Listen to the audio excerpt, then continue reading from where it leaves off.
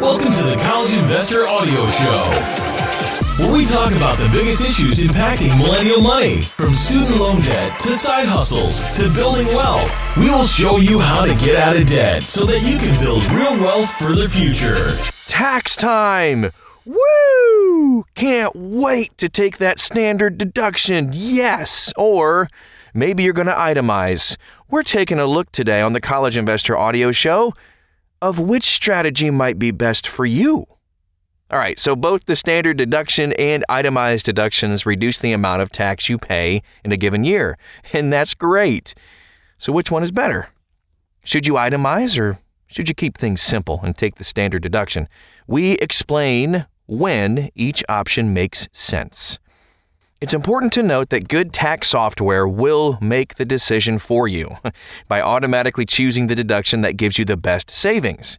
We're partnering with Credit Karma Tax to help you understand the choice. If you don't know what tax software to use, check out Credit Karma Tax. It's 100% free. No joke. Get started with it. There's a link on our website, thecollegeinvestor.com. Okay, so first we answer the question what's the standard deduction?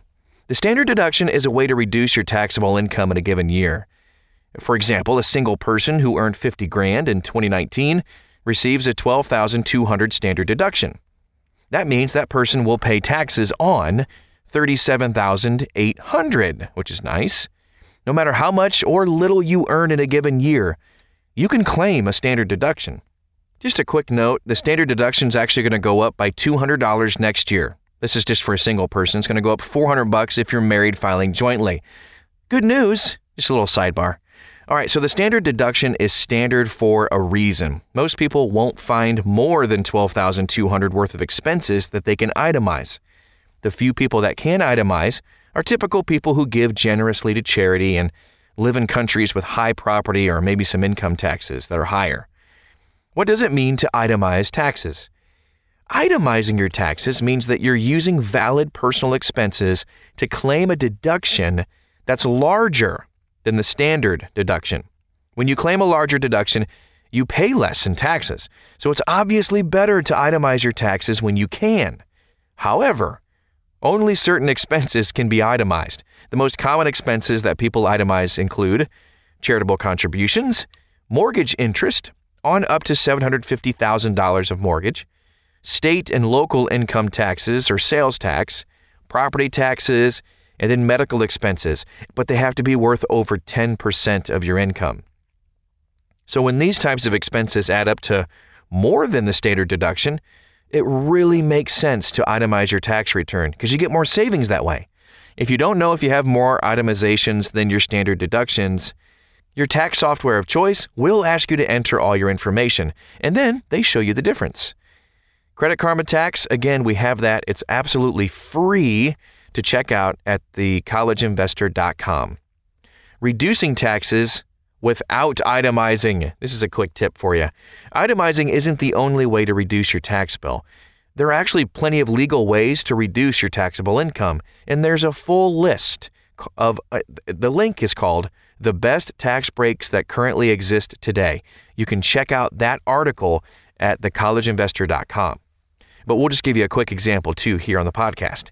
If you contribute money to a workplace retirement plan, like a 401k or a traditional IRA, things like that, you can deduct the contribution from your gross income. So that means the person who earned $50,000 and contributed 5,000 to her 401k will pay taxes on 32,800. Here's why. 50,000 minus the standard deduction, 12,200 minus 5000 in retirement contribution deduction. Awesome. And that's just one example of tons of them. In addition to retirement savings, you can deduct legitimate business expenses in your Schedule C, like driving expenses, materials, equipment, and more for your side hustle. Contributing to a health savings plan, too, or a health savings account, I should say, is a great way to save for medical expenses and avoid taxes. We love avoiding taxes. Legally, legally avoiding them. Other deductions that you can claim without itemizing include educator expenses, you know, for classroom supplies, student loan interest, and alimony you've paid. These deductions are called above the line deductions. They're a great way to reduce your tax bill. The above the line deductions can be combined with your standard deduction too. Haha. So it makes sense to load up on the above the line deductions. Where you legally can, of course. Strategic planning to load up when you itemize. With the new larger standard deductions, If figuring out years to itemize can be a challenge. But you may find it advantageous to itemize in some years and then not in others. If that's you, some strategic financial decisions can help you maximize the advantage of itemizing in certain years. For example, if you buy a house and pay 3000 in points, prepaid interest, plus 2000 in mortgage interest, plus 2000 in property taxes and 8000 in state income tax, add that all up, makes sense to itemize that year. But you can also boost that tax advantage by doubling up on charitable contributions too. For example, if you donate 5 grand per year, consider donating 10,000 in the year you bought the house. Maybe make a donation the beginning and end of the year, making up for the prior or future year missed. The that gives you 5,000 extra to itemize. Then, in the next year, you can drop the standard deduction if it makes sense. Timing big expenses, another great tip, such as buying a house or having big surgeries, other expenses. With big giving opportunities, if you can do that together, that can help you maximize the benefit of itemizing in the years it makes sense too. Here are some final quick thoughts. It can be hard to know whether it makes sense to take the standard deduction or to itemize at first glance. However, there is some amazing tax software and it makes the decision really easy, and not only easy, but automatic. Credit Karma Tax, again, 100% free tax filing solution, and you can check out the link to get started today at thecollegeinvestor.com. That's all we have for you today. I hope that was helpful. And if you found some of these tips like, hey, that I know this guy that is going to be itemizing this year, maybe he needs to know about this tax software.